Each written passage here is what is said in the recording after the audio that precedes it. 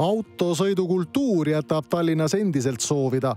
mullu tuvastasid kiiruskaamerad Tallinnas ligi seitseteist tuhat kiiruse ületamist rohkem kui möödunud aastal. täna on sünniaastapäev Jaan Poskal, kes oli üheteistkümnes Tallinna linnapea. Jaan Poska on endaga Eesti Vabariigi ajalukku kirjutanud ka kui Tartu rahulepingu peaarhitekt tal oli väga hea vene keel ja ta tundis vene kultuuri. ta teadis, et rahukõnelused tähendab sisuliselt kauplemist nagu Vene turul. tere õhtust, sõbrad, teisipäev, kahekümne neljas jaanuar TV3 eetris Tallinna uudised alustame saadet liiklusteemadel. autosõidukultuur jätab Tallinnas endiselt soovida. on täiesti tavaline, et sõidukiirus linnatänavatel on vähemalt piirkiirusest pluss kümme kilomeetrit tunnis rohkem. et aga kõigil oleks turvaline liigelda, on Tallinnas küpsemas plaan tuua piirkiirused allapoole. ja Arvin, selle esimest saad. tuli ära, seitsekümmend üks, seitsekümmend kaks, seitsekümmend kolm kilomeetrit tunnis rannamõisa tee on vaid üks teelõik Tallinnas, kus autojuhid pidevalt kiirust ületavad. sarnast tendentsi on näha kogu linnas. massiliselt, millega juhid on harjunud, on, hakkab pihta ikkagi see, et ah, mis on, et kümme-viisteist üle, et äh, vaatan, et suur lai tee, et midagi hullu ei ole eelmisel aastal tuvastasid politseipatrullid Tallinna linnas üheksa tuhat kuussada kolmkümmend kiiruse ületamist see on küll umbes kuussada juhtumit vähem kui aasta varem, kuid see-eest suurem osa nendest ületamistest olid kuni pluss kakskümmend kilomeetrit tunnis. Viimase kolme aastaga on Tallinnas kasvu teinud ka inimkannatanutega liiklusõnnetused, küll tuleb see koroonaaja arvelt, kui liiklust oligi vähem, kuid üks on kindel, kokkupõrkes kihutava autoga on tagajärjed tõsised ja nõrgem pool on alati jalakäija. kui viiekümnega sõita jalakäijale otsa, on vähemalt mingigi võimalus, et jalakäija jääb ellu ta saab kindlasti viga, aga ta jääb ellu.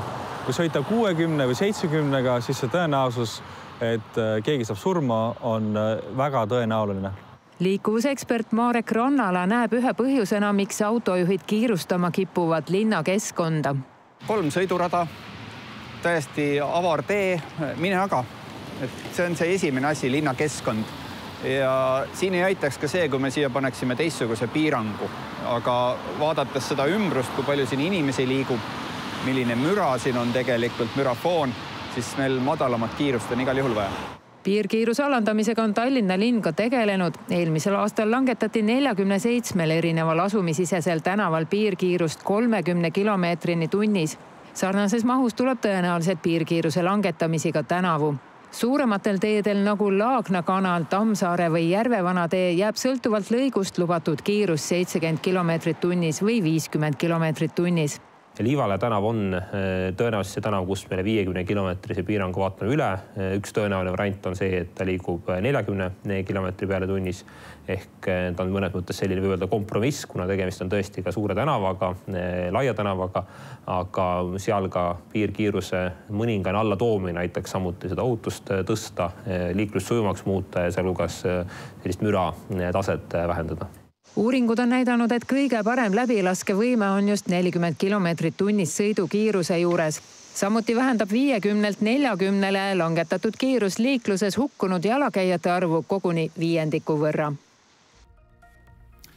täna on riigimehe esimese eestlasest Tallinna linnavolikogu esimehe, Tallinna linnapea Jaan Poska saja viiekümne seitsmes sünniaastapäev.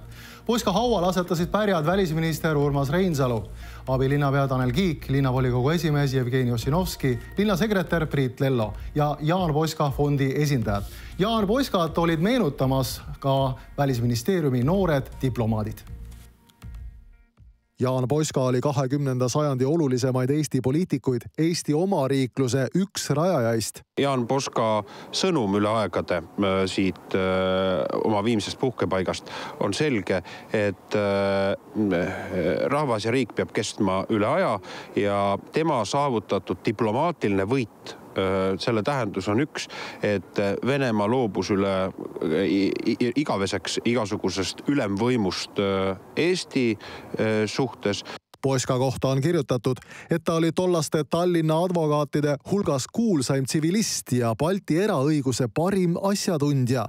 Need, kes ühiskondlikus elus on on ühel või teisel põhjusel suutnud tõepoolest korda saata midagi sellist, mida me mäletame siin sada aastat hiljem, siis loomulikult on, on need inimesed seda riigimehe tiitlit väärt ja Jaan Poska on kindlasti, kindlasti üks nendest tuhande üheksasaja neljandal aastal toimunud valimistel saavutasid eestlased toonases volikogus esmakordselt ajaloos enamuse ning koostöös venelastega tekkis võimalus linna juhtida. Jaan Poskast sai volikogu esimene eestlasest esimees. mõned aastad hiljem sai Poskast Tallinna linnapea. tema mälestus on, võib öelda, noh üdini positiivne, ma arvan, kogu Eestimaa rahva jaoks. kahjuks õnneks ühtegi sellist poliitikut praeguses olukorras kõrvale panna ei ole Jaan Poska on endaga Eesti Vabariigi ajalukku kirjutanud kui Tartu rahulepingu peaarhitekt, kes ka esimesena kirjutas alla Eestile iseseisvuse toonud Tartu rahulepingule ja arvestades tema sellist varasemat diplomaatilist pagasit, ma arvan, et oli ka parim mees juhtima Eesti delegatsiooni nendel kõnelustel. ta tundis läbi ja lõhki vene kultuuri, ta tundis läbi ja lõhki vene hinge. kuidas? no selles mõttes, et ta oli ju lävinud Vene kõrgametnikega alates juba kahekümnenda sajandi algusest. Jaan Poska suri seitsmendal märtsil tuhat üheksasada kakskümmend. Oma Kadrioru kodus oma voodis, viiekümne nelja aastaselt, kuus nädalat pärast Tartu rahulepingule allakirjutamist. ta on maetud siselinna kalmistule Tallinnas. Otsene põhjus oli siis süda, südame, südame ülesütlemine, aga selle põhjuseks peale kurnatuse tuleb ka öelda, et Jaan Poska ka päris palju tarbis alkoholi, eriti oma elu viimastel aastatel. talle meeldis üsnagi konjak Napoleon ja see mõõt oli ikkagi Pastacanu klaaskonjakit päevas, aga mõnel päeval ka kaks. nii et kahtlemata aga see ikkagi muserdas tema tervist. aga laiem põhjus ikkagi see lõputu ülepinge, mis oli olnud pikki ja pikki aastaid. Tallinnas on kodus kukkumine eakate seas kasvanud ning eriti kurvad on juhud, mil kukkunu on koju pikali jäänud päevadeks, mõnel juhul nädalateks. aga sellist olukorda saab tänu null eurot maksvale lahendusele kergesti ka ennetada väljakutsete arv Eestis ja Tallinnas, kus eakas on kukkunud ega pole saanud abi kutsuda, on tõusnud viimaste aastate jooksul kolmandiku võrra. aastas laekub Päästeametile umbes tuhat väljakutset, suurem osa ehk iga neljas neist Tallinnas ja Harjumaal kõige suurem mure on siis, kui abi kutsutakse nii hilja, et kedagi polegi enam päästa.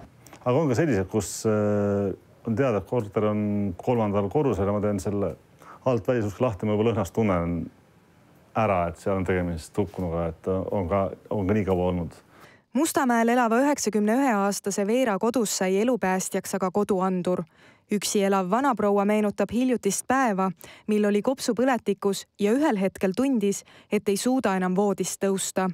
seinale paigutatud liikumisandur saatis signaali tema Ameerikas elavale tütrele. seejärel viis kiirabi ägedas kopsupõletikus Veera haiglasse. ta on nii kindel tunne, et sa lähed rahuga magama, magad. olen, ma olen valvatud, keegi valvab nagu ka kaitseingel valvab mind. mulle lihtsalt andur meeldib sellise anduri paigaldamine koju nõuab aga igakuist mitmekümne eurost kuutasu maksmist. Tallinnas maksab linn selle alates selle aasta algusest ise kinni.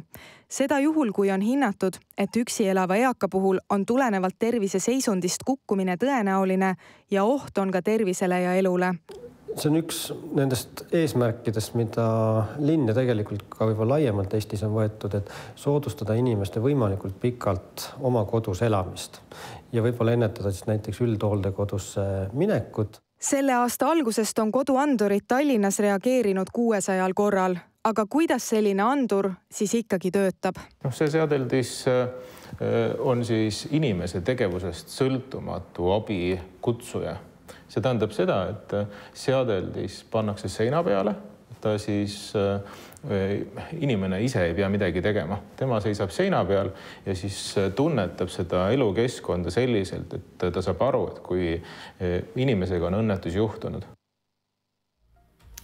kas oskate aga aimata, mismoodi valmistatakse pardi kulebiakat?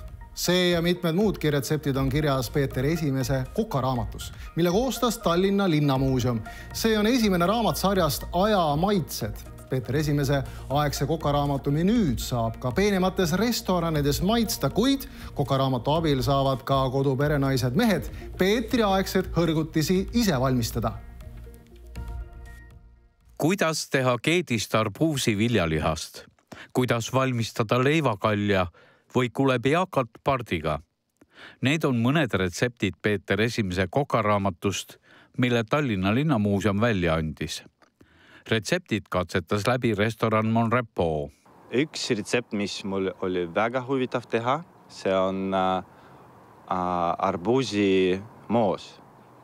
ehk siis me kõik nagu teame maasikast moosid, on ju, aga see arbuusimoos oli päris huvitav ja seda ma tahan äh, suvel ka proovida ja võib-olla panna meie meie brunch'i menüüsse või kuskil nagu jah. Peeter Esimese ajal äh, olid tehtud mõned ümberkorraldused äh, ja väga muutus ka toidukultuur. nii et me siin räägime põgusalt ka äh, seitsmeteistkümnenda äh, sajandi lõpu, kaheksateistkümnenda sajandi toidukultuurist üldiselt ja siis äh, siin on välja toodud retseptid, mida pakuti ka Peeter Esimese lauale ja maja ees oli ka väike, noh, väike tegelikult suur Katariina aed äh,, kus kasvas ka piparmünt näiteks, kapsas soolas, sibul ja kõik ja kurgid muidugi, et Peeter Esimese lemmikroog olidki soolased kurgid, marineeritud kurgid. Peeter Esimese kokaraamat ilmus nii eesti, vene kui inglise keeles eraldi raamatuna.